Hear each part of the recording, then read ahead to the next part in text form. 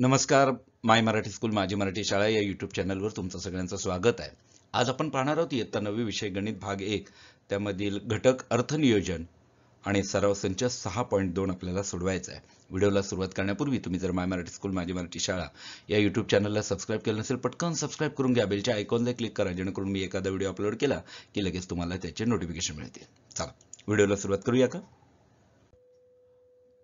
पहिला प्रश्न आहे बघा खालील सारणीचे निरीक्षण करा. सारणीमध्ये दिलेल्या व्यक्तींना दिलेल्या करपात्र उत्पन्नावर आयकर भरावा लागेल किंवा नाही ते लिहा. या ठिकाणी अनुक्रमांक आहेत या यामध्ये आपण व्यक्तींची नावं पाहतोय. वय करपात्र उत्पन्न आहे आणि आयकर भरावा लागेल किंवा नाही हे आपल्याला या ठिकाणी लिहायचं आहे. पहिलं उदाहरण तर सोडून दिलंय पण ते आपण पाहूया कसं आहे ते. कुमारी निकिता जी आहे तिचं वय सत्तावीस वर्ष आहे आणि करपात्र उत्पन्न दोन लक्ष चौतीस हजार आहे. आणि आपल्याला कळतंय की तिला आयकर भरावा लागणार नाही. कसं काय कळतंय? तर वय वर्ष साठ वर्षापर्यंत सारणी एकचा आपण विचार करतो. तर ती मी लिहितो समोर. बघा आणली आहे मी. साठ वर्षापर्यंतच्या व्यक्तींसाठी सारणी एक आहे. त्यामध्ये काय म्हटलंय? करपात्र उत्पन्नाचे टप्पे. रुपये दोन लक्ष पन्नास हजार पर्यंत प्राप्तिकर किंवा आयकर करमुक्त आहे. म्हणून तिला आयकर भरावा लागणार नाही. कुमारी निकिता वय सत्तावीस वर्षे हिचे करपात्र उत्पन्न रुपये दोन लक्ष चौतीस हजार आहे. करपात्र उत्पन्न रुपये दोन लक्ष पन्नास हजारपेक्षा कमी असल्यामुळे सारणी एक नुसार कुमारी निकिता हिला आयकर भरावा लागणार नाही. हे झालं पहिलं. आता दुसरं. श्रीत कुलकर्णी आहेत. त्यांचं वय छत्तीस वर्ष आहे. करपात्र उत्पन्न तीन लक्ष सत्तावीस हजार आहे. मग वय छत्तीस वर्ष आहे म्हणजे सारणी एकचाच विचार करायला लागेल. या ठिकाणी बघा ही सारणी एक दोन लक्ष पन्नास हजारापर्यंत करमुक्त आहे. परंतु त्यांचं करपात्र उत्पन्न तीन लक्ष सत्तावीस हजार आहे. म्हणजे ते दोन लक्ष पन्नास हजारपेक्षा जास्त आहे. म्हणजे या टप्प्यांमध्ये येईल बघा. आहे की नाही? मग त्यांना प्राप्ती कर किंवा आयकर भरावा लागेल. हम्म? श्रीयुत कुलकर्णी वय छत्तीस वर्षे यांचे करपात्र उत्पन्न रुपये तीन लक्ष सत्तावीस हजार आहे. करपात्र उत्पन्न रुपये दोन लक्ष पन्नास हजारपेक्षा जास्त असल्यामुळे सारणी एक नुसार श्री कुलकर्णी यांना आयकर भरावा लागेल. बरोबर आहे? तिसरा आता श्रीमती मेहता यांचं वय चव्वेचाळीस वर्ष. आहे साठ वर्षापेक्षा कमी आहे म्हणून सारणी एकचाच विचार करायला लागेल. बघा सारणी एक त्यांचं करपात्र उत्पन्न पाच लक्ष ब्याऐंशी हजार आहे. मग ते दोन लक्ष पन्नास हजारपेक्षा जास्तच आहे. म्हणजे त्यांना देखील आयकर भरावा लागेल. श्रीमती मेहता वय चव्वेचाळीस वर्ष यांचे करपात्र उत्पन्न रुपये पाच लक्ष ब्याऐंशी हजार आहे. करपात्र उत्पन्न रुपये दोन लक्ष पन्नास हजारपेक्षा जास्त असल्यामुळे सारणी एक नुसार श्रीमती मेहता यांना आयकर भरावा लागेल. लिहून टाका. आता श्री बजाज यांचा आपण विचार करू बघा हम्म त्यांचं वय किती आहे? चौसष्ट वर्ष. आहे आणि करपात्र उत्पन्न आठ लक्ष चाळीस हजार आहे. वय वर्ष चौसष्ट आहे म्हणजे सारणी एकचा आपल्याला वापर करता येणार नाही. तर ते ज्येष्ठ नागरिक आहेत ना त्यामुळे सारणी दोनचा विचार करायला लागेल. मग ती आहे बघा वय वर्ष साठ ते ऐंशी. बरोबर? या सारणी दोन मध्ये नीट पहा. तीन लक्षापर्यंत आयकर करमुक्त आहे. परंतु त्यांचं उत्पन्न तर आठ लक्ष चाळीस हजार आहे. म्हणजे त्यांना आयकर भरावा लागेल. श्री बजाज वय चौसष्ट वर्ष यांचे करपात्र उत्पन्न रुपये आठ लक्ष चाळीस हजार आहे. श्री बजाज हे ज्येष्ठ नागरिक असल्यामुळे करपात्र उत्पन्न रुपये तीन लक्षापेक्षा जास्त असल्यामुळे सारणी दोन नुसार श्री बजाज यांना आयकर भरावा लागेल. लिहून टाकायचे बरोबर आता श्री डिसिल्वा यांचा विचार करू. त्यांचं वय एक्क्याऐंशी वर्ष आहे. बघा एक्क्याऐंशी म्हणजे अतिज्येष्ठ नागरिक. बरोबर ना? मग सारणी तीन अतिज्येष्ठ नागरिक. वय वर्ष ऐंशी पेक्षा अधिक. मग त्यांना पाच लक्षापर्यंत करमुक्त आहे. सारणी तीन नुसार आणि त्यांचं करपात्र उत्पन्न आहे चार लक्ष पन्नास हजार. म्हणजेच श्री डिसिल्वा व एक्क्याऐंशी वर्ष यांचे करपात्र उत्पन्न रुपये चार लक्ष पन्नास हजार आहे. अतिज्येष्ठ नागरिकांना रुपये पाच लक्ष करपात्र उत्पन्नावर सारणी तीननुसार आयकर लागत नाही म्हणून श्री डिसिल्वा यांना आयकर भरावा लागणार नाही. लिहून टाका. झालं बघा. पहिला प्रश्न झाला आपला. आता दुसरं उदाहरण आहे बघा. श्री करतार सिंग वय अठ्ठेचाळीस वर्ष. खाजगी कंपनीत नोकरी करतात. योग्य भत्ते वगळून त्यांचा मासिक पगार बेचाळीस हजार रुपये आहे. ते भविष्य निर्वाह निधी खात्यात दरमहा तीन हजार रुपये गुंतवतात. त्यांनी पंधरा हजार रुपयांचे राष्ट्रीय बचत प्रमाणपत्र घेतले आहे व त्यांनी बारा हजार रुपयांची देणगी पंतप्रधान मदत निधीला दिली आहे. तर त्यांच्या आयकराचे गणन करा. ठीक आहे? पहिल्यांदा आपण श्री करतार सिंग यांचे वार्षिक उत्पन्न पाहूया. वार्षिक उत्पन्न म्हणजे त्यांचा मासिक पगार बेचाळीस हजार आहे. असे महिने किती होतात? बारा ना? एका वर्षाचे महिने बारा. म्हणून बेचाळीस हजार गुणिले बारा.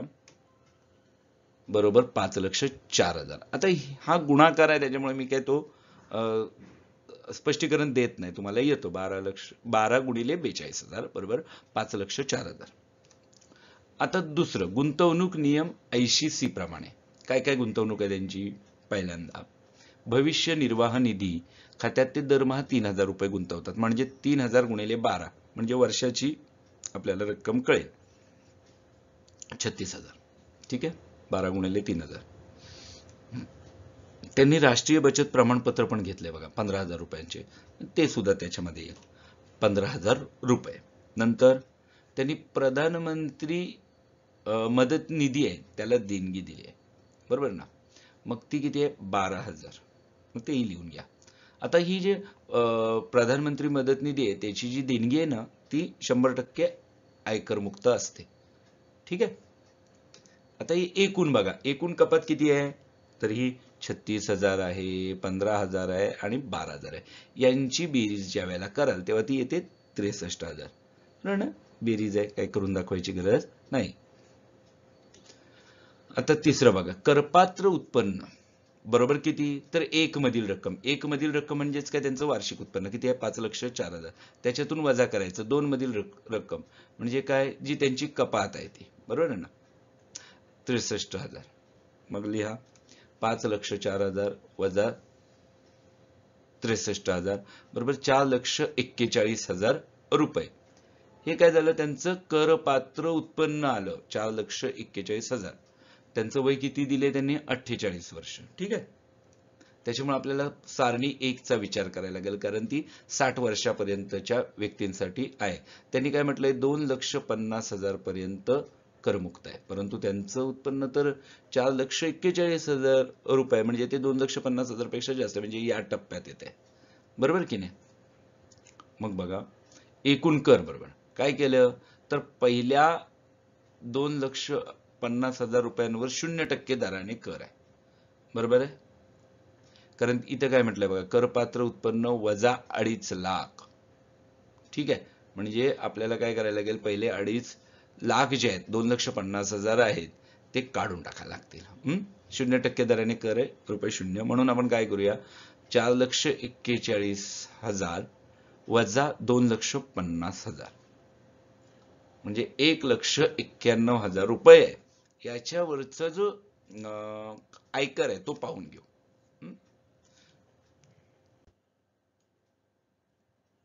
आता बघा एक लक्ष एक्क्याण्णव हजारवर पाच टक्के दराने आयकर. म्हणजे आपण काय करू एक लक्ष एक्क्याण्णव हजार गुणिले पाच छे शंभर बरोबर नऊ हजार पाचशे पन्नास रुपये आयकर आलेला आहे. सारणी एक नुसार. आता तुम्ही म्हणाले हे कसं काय कळलं? तर ही सारणी पुन्हा आणू आपण. सारणी एक. सारणी एकचाच का विचार करतो? कारण वय वर्ष अठ्ठेचाळीस आहे. साठ वर्षापर्यंत सारणी एकचा विचार करतात. एक लक्ष एक्क्याण्णव हजारवर पाच टक्के दराने आयकर आहे. म्हणून एक लक्ष एक्क्याण्णव हजार गुणिले पाच छे शंभर या शून्याला हा शून्य गेला या शून्याला हा शून्य गेला. म्हणजे एक हजार नऊशे दहा गुणिले पाच नऊ हजार पाचशे पन्नास येतं. हा आयकर आलेला आहे. बरोबर? आता पुढे बघा. नऊ हजार पाचशे पन्नास जो आयकर आहे त्याच्यावर दोन टक्के दराने शिक्षण कर आहे म्हणजे या ठिकाणी बघा. म्हटलंय ना शिक्षण उपकर. मग तो किती आहे? आयकराच्या दोन टक्के. मग आयकर नऊ हजार पाचशे पन्नास आहे त्याच्या दोन टक्के. म्हणून नऊ हजार पाचशे पन्नास गुणिले दोनशे शंभर. या शून्याला हा शून्य जाईल. नऊशे पंचावन्न गुणिले दोन. एक हजार नऊशे दहा. गुणाकार करा येईल तुम्हाला. आणि छेदस्थानी दहा. दहाच का? कारण हा शून्य गेलेला आहे या शून्याला. म्हणजे यालाही दहा गुणलं भागलं आणि यालाही दहाने भागलं. एक हजार नऊशे दहा छेद दहा. या शून्याला हा शून्य गेला. म्हणजे राहिले एकशे एक्क्याण्णव. म्हणजे हा जो शिक्षण उपकर आहे तो किती आला? एकशे एक्क्याण्णव रुपये. कळलं? हा आयकर नऊ हजार पाचशे पन्नास अधिक एकशे एक्क्याण्णव करायला लागेल. पुढे परत आहे माध्यमिक व उच्च शिक्षण उपकर पण आहे. तो किती आहे? आयकराच्या एक टक्का. आयकर आहे नऊ हजार पाचशे पन्नास आणि त्याच्यावर एक टक्के दराने उच्च शिक्षण कर. आहे म्हणून नऊ हजार पाचशे पन्नास गुणिले एक छेद शंभर बरोबर पंच्याण्णव पॉईंट पन्नास. हे लक्षात आलं? पंच्याण्णव दशांश चिन्ह पाच शून्य. रुपये. अगदी सोपं आहे.